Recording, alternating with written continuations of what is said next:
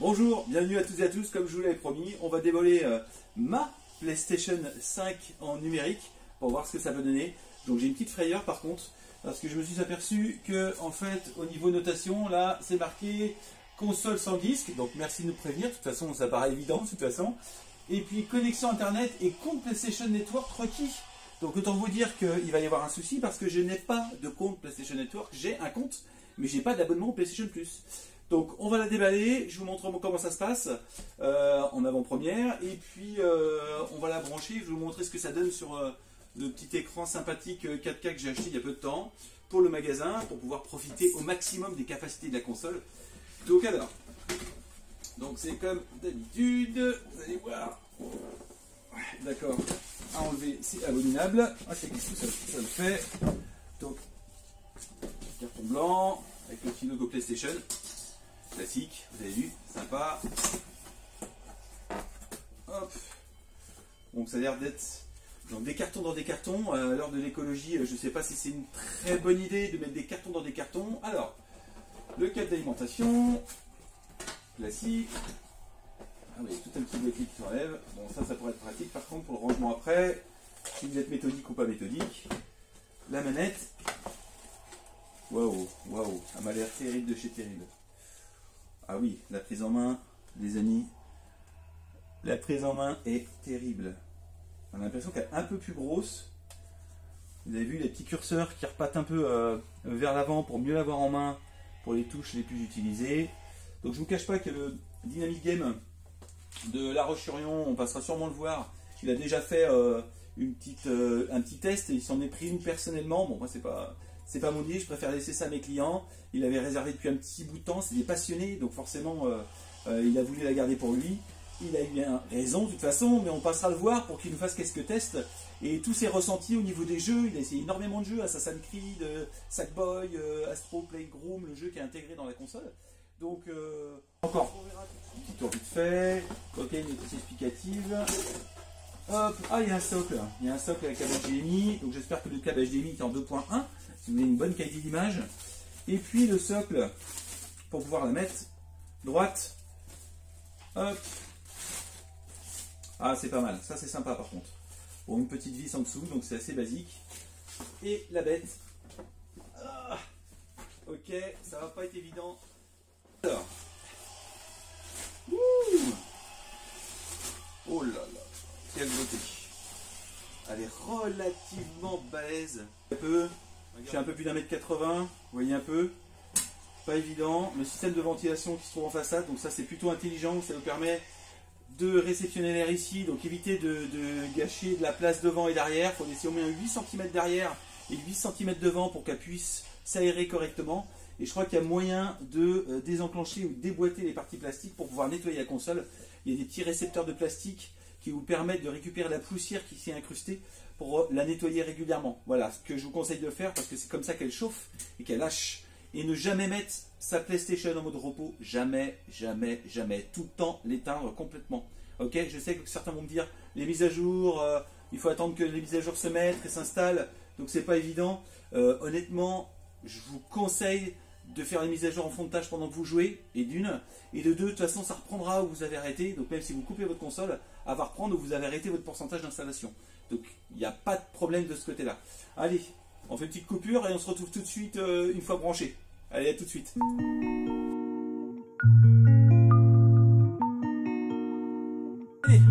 Bienvenue à toutes et à tous. On se retrouve sur le test de Astro Playroom, donc un jeu qui est intégré sur euh, PlayStation 5.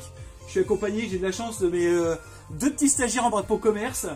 Donc on n'a pas eu l'occasion d'en discuter souvent, mais on accepte souvent des stagiaires en bac pro commerce pour se faire remplacer, bien sûr, un jour ou l'autre. Hein, on va vieillir, on va pouvoir euh, euh, les former pour récupérer le magasin de jeux vidéo plus tard. Ça va? Ça vous va, les mecs? Donc, Valentin et Melvin. Donc, euh, Valentin, tu commences? On va vous faire un petit test sur Astro Playroom. Donc, vous pouvez y tourner. Donc, on a installé la PS4 numérique qui est là-bas. Donc, au niveau au design, elle est tout aussi jolie que celle qui a un lecteur, lecteur DVD, Blu-ray surtout. Et puis, bah, c'est parti. Allez, vas-y, mon Valentin, vas-y. Allez, chope-moi la manette. Alors attention de pas la faire tomber, hein, parce que c'est 69 balles quand même. On vous cache pas qu'on avait déjà euh, fait une petite partie, une précédente partie, Donc au niveau graphisme, animation, c'est un petit jeu qui va ressembler à Ratchet et Clank ou à Jack and Dexter. Donc euh, les, les sensations sur la manette sont énormissimes, énormissimes, pardon. La qualité du son est énormissime. Euh, franchement, bon, la console est balèze. hein. Vous voyez à côté de l'écran, c'est un un nouvel écran HD pour le magasin. Full HD et même je crois qu'il est en 4K, mais j'ai pas le câble qui va bien. Donc alors, n'hésite pas Valentin à nous commenter ce que tu, que tu ressens dans les manettes. Alors déjà au niveau des gâchettes, comment ça se passe? Donc ça c'est tout le début du jeu. En fait, les- ça, ça se durcit euh, dès qu'on appuie. Dès qu'on appuie, on ressent la, la difficulté en fait. Plus il faut appuyer, plus, euh, plus c'est dur. D'accord, donc c'est une sorte de résistance. Ouais. Voilà, et là tu t'appuies fort en fait, c'est ça? Ouais, là, là si D'accord. j'appuie juste, ça fait rien et du coup, il faut appuyer fort pour. D'accord, donc tu as une sorte de cran qui te permet de... D'accord. Donc les manettes, ah ouais, les manettes sont... euh, D'accord. Sont adaptées au niveau de la force et puis... euh, D'accord, ok. Le pavé là, tactile. tactiles. Une petite bestiole. Oh là, je sens bien. Ah ouais, je me souviens. Je me souviens ce passage du jeu. Alors quand tu bouges la manette, en Là, fait, coup, ouais, tu ressens euh, tu ressens la sensation, t'as l'impression qu'ils sont tous à l'intérieur. t'as l'impression que tous les petits robots sont à l'intérieur de la manette. Ouais. Ouais, très très fun. Donc euh, le jeu qui est offert avec, mais vous allez voir, ça ressemble au niveau jouabilité, ça ressemble vachement à Ratchet ou à un, un Jack. Et euh, au niveau sensation de conduite, c'est vraiment sympa, ouais. Du coup, là, je peux pas. Donc là, tu peux pas souffler dessus, bah enlève ton masque, hein, on est assez loin les uns des autres. hein. N'oubliez pas de respecter le protocole sanitaire, on a tous des masques en magasin, forcément. Et c'est parti. On fait une petite démo pour voir ce que ça donne. Puis après, on laissera euh, Melvin jouer à son tour. Super fort. T'es super fort à jeu, je pense pas, non, je me pense que t'as Je pense que t'avais quelques difficultés, non? Ouais. Allez, c'est parti. Non, c'est le début du jeu, ça, je crois. hein. Ouais, là, c'est le début. Ouais. On va les apprendre un peu euh, au niveau maniabilité et maniement de la manette. Il y a un petit faux jour toujours dans ce magasin. Trop éclairé, trop éclairé, c'est pas possible.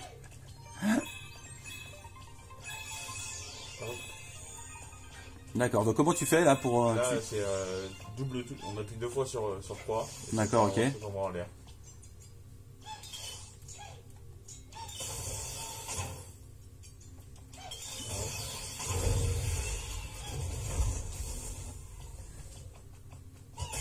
Ah, excellent Il peut des découpants, ouais, terrible. Ouais. Oui, je me suis arrêté. Là, je crois qu'il faut tirer, voilà. Voilà, là, ça, ça se voit que t'as fait, t'as déjà fait le jeu. Hein. t'as déjà eu l'occasion d'y jouer. Ça se voit que t'as déjà eu l'occasion d'y jouer, hein, non Ouais. Alors si tu nous expliquais un peu ce que c'était, qu'est-ce qui se passe? Euh, là. c'est même pas que. C'est les différents niveaux qui se développent. Ouais, je crois que c'est les. Ah, c'est tous les niveaux qui se débloquent, d'accord. Ah, une PlayStation 1. Une PlayStation, une P6, pardon, PS6. Excellent. Faut- casser ça pour récupérer les pièces. Ça, je crois que c'est des, des checkpoints en fait. D'accord, ok. Bleus comme ça. Enfin, au début ils sont rouges et après quand on arrive dessus ils sont bleus, c'est des checkpoints. D'accord. A des ennemis. On est ennemis, on récupère des pièces. D'accord. Il suffit d'appuyer sur carré. Ouais, un petit jeu de plateforme basique, un Ratchet Jigsaw ou Crash Bandicoot, hein, c'était le, le précurseur à l'époque sur PlayStation 1, sur PS6. Excellent la musique. Ah, des touches de manette, excellent. Ouais, là c'est des. Ouais. Euh, L'ambiance et la musique est terrible, hein. franchement, ouais, franchement, ouais. terrible. Bon, je suppose que c'est une bestiole que tu peux avoiner. Ouais, on peut. ouais, je peux les. T'es pour la paix, toi? T'es pour la paix. Il lâche des pièces en plus. Et un passage. Ah, donc tu. Ah oui. Excellent. Ouf. C'était juste, mon ami, c'était juste. Un petit jeu mignon, quoi. Heureusement qu'il est offert avec la console. Je pense que Sony a été malin d'offrir le jeu euh, dans toutes les PlayStation 5. Vous aurez le Astro Playroom. Vous pourrez essayer la manette, les capacités de la manette. Ah ouais. Bon voilà, vous avez vu qu'il est pas très très bon. Et c'est parti pour notre ami Melvin. Alors Melvin, qu'est-ce que t'en penses? C'est bien d'avoir deux avis différents parce que vous n'avez pas forcément le même ressenti au niveau des manettes, de la manipulation. euh, ça peut être assez sympa. Qu'est-ce que t'en penses toi? Ben, Donc t'es au même niveau que Valentin, et je crois que tu as autant de mal que lui. c'est le niveau. Donc voilà, les stages chez Dynamic Games sont très très compliqués, très très difficiles pour eux, comme vous pouvez le remarquer. On doit tester des manettes, tester des jeux. euh. Donc là, ils en profitent pour jouer un peu à la PS5, forcément. Il n'y a personne en boutique. Donc là, on est à test à, test à l'arrache du midi. Il est quand même bien fait. hein. Graphiquement, ils ont bien bossé quand même, les mecs. hein. C'est pas mal. Moi, ça m'épate toujours. Ouais, tu disais, Melvin, ouais? Moi je trouve que les lumières ils sont incroyables, c'est clair, etc. Et puis l'ambiance du jeu du coup elle est, euh, elle est folle. Ah, elle est magnifique, hein. Ah, excellent, d'accord. Alors, comment, ouais, Là, comment là, ça se passe c'est un peu incroyable tout simplement parce qu'il faut basculer la manette pour pouvoir euh, monter euh, petit à petit. D'accord, tu dois basculer la manette à gauche et à droite. Exactement. Ah oui, d'accord. Pour pouvoir grimper, ok. Ah, je me souviens que ce passage, Valentin, euh, hier, il avait un peu de mal. Il a passé une merde. Enfin, je dis ça, mais je me suis même pas permis d'essayer. Hein. J'ai Pas eu le temps, malheureusement. Moi, je vous conseille le Assassin's Creed, qui est terrible, graphiquement parlant, et le NBA 2K21, qui est exceptionnel. On a vraiment l'impression de voir un match de basket en direct. Au niveau qualité d'image, c'est bob, bob, c'est une claque absolue. Et encore, on n'est qu'à 20-30% de développement. Je pense qu'on va faire des jeux exceptionnels. Donc, on attend le Horizon Forbidden Siren, le Grand Turismo 7. Il y en a plein comme ça qui vont arriver. Bien patient pour tout ça. Faut patienter, il faut patienter. Donc je vous rappelle que ça c'est la PlayStation 5 numérique, la PlayStation 5 numérique qui est avec un pauvre câble HDMI en 1.4. Et oui, vous avez bien entendu un câble HDMI en 1.4, donc pas de 4K ni de 8K. Par contre, quand vous achetez la PlayStation 4 avec un lecteur Blu-ray, pas de problème. Là, vous avez un câble en 2.1 qui vous permet de sortir de la 4K ou de la 4K. Un câble de très bonne qualité. Euh, par contre, je, la numérique, euh, voilà. Encore une fois de plus, faut l'éviter.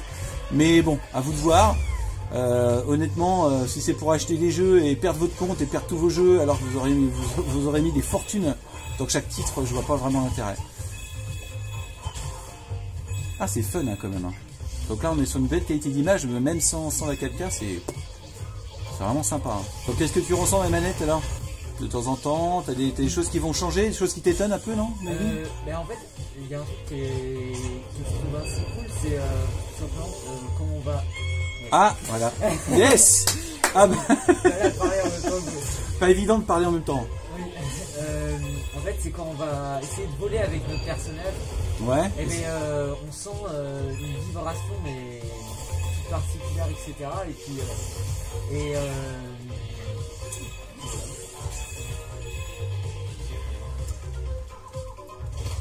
et là on sent chaque pas en fait de notre personnage. Ah oui. Et là, au Et niveau là, on du sent vent. le vent également. Ah d'accord, ok, ça marche. Donc c'est surtout axé sur les vibrations en fait, on a beaucoup Oui, de c'est vibrations, ça. ouais, c'est ça. Bah, je viens de te faire aplatir là comme une crêpe, voilà, on est bien d'accord. Chaque action ou chaque mouvement du personnage, ça donne une vibration, mais différente en fait à chaque fois. D'accord. Voilà, c'est fini. Bien, on a fait un petit tour de Astro Playroom. Donc notre ami Melvin, notre ami Valentin, les deux, mes deux stagiaires préférés actuels. Non, euh, beaucoup qui viennent en stage en bac pro commerce.